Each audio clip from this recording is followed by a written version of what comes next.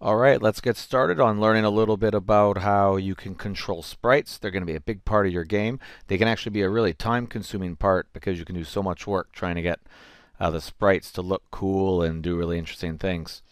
What we're going to do here is we're going to just work on this person to start. Learn some of the basic commands. You'll see here he actually has four sprites. Man right. And when I peek in the frames, it's actually an animated series which you can see here, which has him walking. There's also man left, which is just the left version of that. And you'll see there's also man up and man down.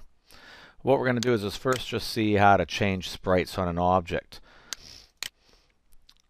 When the player hits the left key, we obviously want the sprite to change to be the one to the left. Uh, there's a variable already built in to every single object in GameMaker. This variable is called sprite index. And with this, you name the sprite that you want to use. So all I have to do here is I'd like to switch this to sprite man left.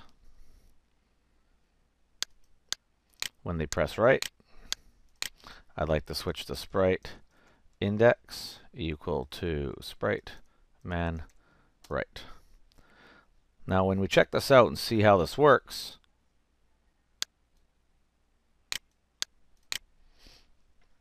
you'll actually see that the man is going to have a bit of a... Ah, so it works, not too badly there. But of course you have this. The person just keeps on walking, even though when they're in there, that looks a little weird. Of course we're going to fix that. So here's one or two ways how you can fix this. If you can set the sprite, you can also set the speed of the sprite. Now, I'm just going to say when created, I already have this line of code in here, and that is the line there, image speed. That's another variable built in, and that controls how fast it's going to progress through the frames of your animation. You'll see the numbers are usually quite small, like 0.2.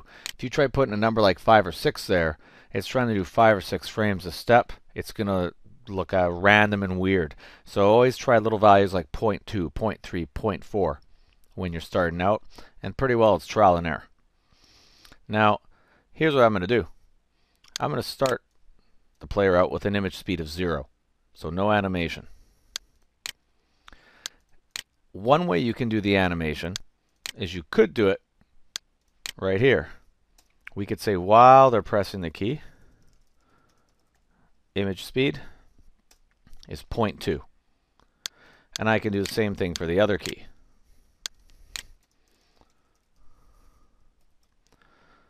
Now when we give this a go and actually test what that looks like, you'll see that it's going to start out all right. So no animation. And then I press right, press left. But you're going to see that when I actually let go of the keys and stop, of course the person's still going. I need a way to know that when the person is stopped to stop the animation. One place you can do this is inside of the step event.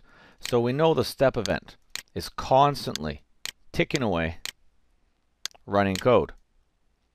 So what I can do here inside the step event is I can just quickly say if speed is 0, image speed is 0. So this is constantly asking all the time. And so when it knows our speed is slowed down, our image speed should stop. So let's check out how this works, and then we'll show you a slightly, slightly modified version that's quite a bit better.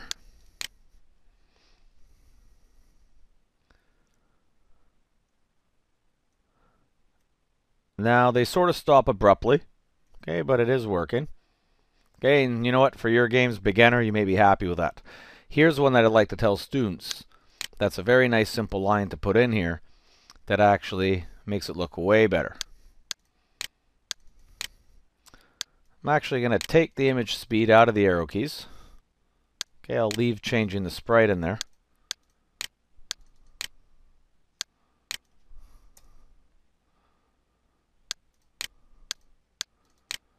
I'm going to take out what I just put in step.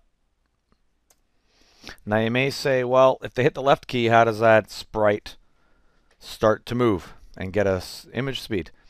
here's what I'm going to do. In the step method, I'm going to say a little equation here. I'm going to say the image speed equals the player speed divided by, and I'm just going to guess a number here, 10. So if you stick with me here, imagine this. Let's say the speed of the player was around 5.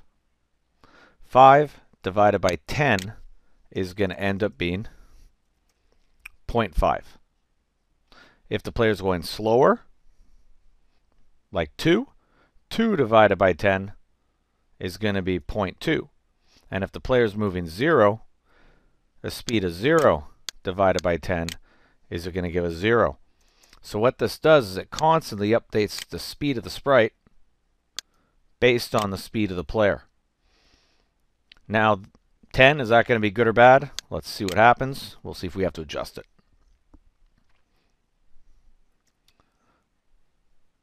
Not bad as they slow down. The sprite speed slows down. Now, if you think that's a little too fast, what we can do is we can just take this down. You can just try numbers, right? Like 15. Give that one a go. And you'll see that you'll eventually just run a few times, test it out, and that's not bad. So the whole idea there, right? The actual image speed is based on the speed of the player. Okay, remember, we need little numbers. That's why we're dividing by 15. Okay, that's the first part of the video today, and this is basically the nice sprite control. Now, if you wanted to add up and down, that's going to be something you're going to be asked to do in the challenge. Just add the up and down, very similar. You have man up and man down there. And you have your player walking in all four directions. Okay, give that one a go. Thanks for watching.